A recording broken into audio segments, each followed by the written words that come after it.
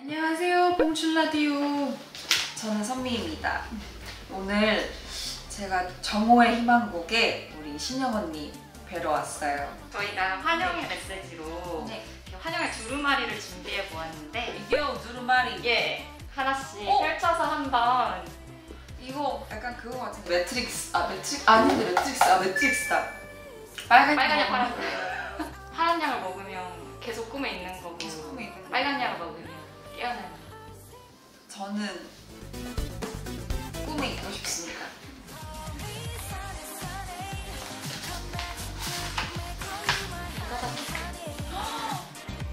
선미 능력 솔직히 거품이지. 어길 리버블 감사해요 아 근데 이거 저는 돼요?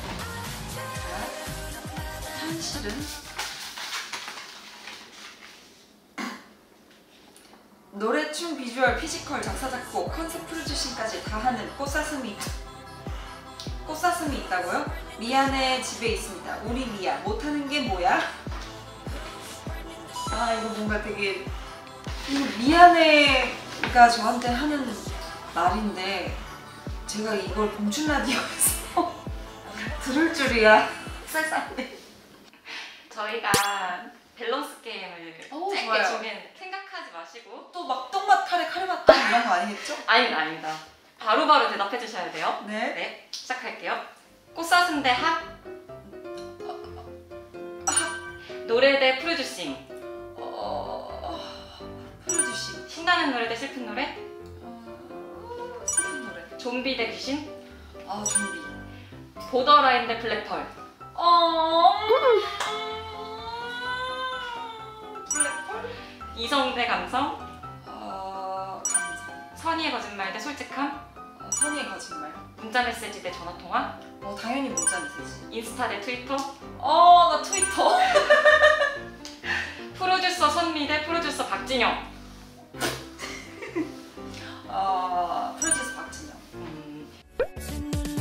아 이게 꽃사슴이라는 그 어댕이 16살 데뷔했을 때 저희 원더풀이 지어주신 별명인데 아, 꽃사슴이라고 하기에는 제가 큰 눈망울도 가지고 있지 않고 그래서 저는 학을 선택하겠습니다. 학 뭔가 조금 학이 저랑 조금 더 잘 어울려요. 되게 유유자적 그냥 강해서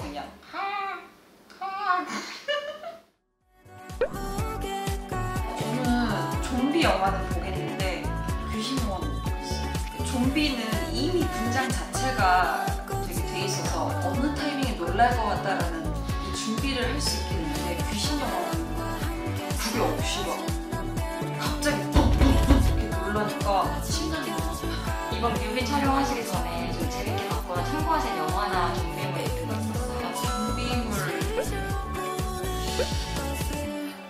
저는 일단 좀비 영화를 되게 많이 본 것 같아요. 원바디스나 보면 나는 전설이다. 부산행도 있고 꽤 많이 봤네요.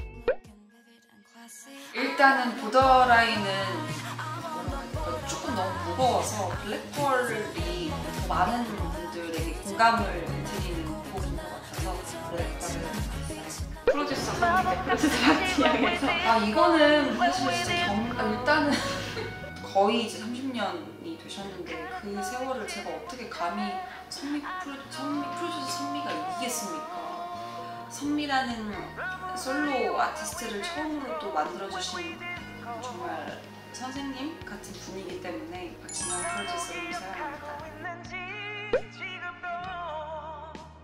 아 저는 인스타그램을 되게 막 멋진 모습, 행복한 모습 그런 걸 되게 보여줘야 하는 SNS잖아요. 저는 되게 아무 말 하는 걸 되게 좋아해요. 트위터랑 저랑 되게 잘 맞는 것. 비계는 없습니다.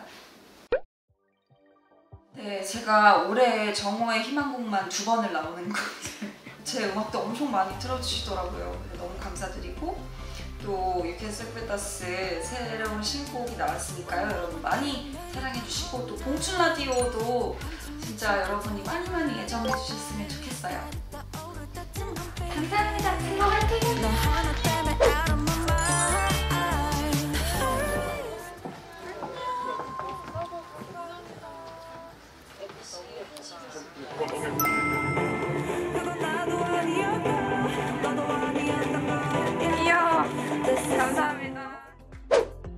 여기 우리 레드 카펫인데 선미 씨를 위해서 준비했어요. 그또 정기 와가지고 또 엄청 그 광대가 너무 아플 정도로 수다를 떨고 갔는데 이렇게 매번 올 때마다 너무너무 행복한 방송 할 수 있게 해줘서 너무 감사하고 우리 정이 많이 많이 사랑해주세요. 오, 아, 오, 오, 제가 잘할 수 있을지 모르겠지만 그래도 그런 기회가 오면은 되게 또 재밌을 것 같아요. 재밌게 할 것 같아요.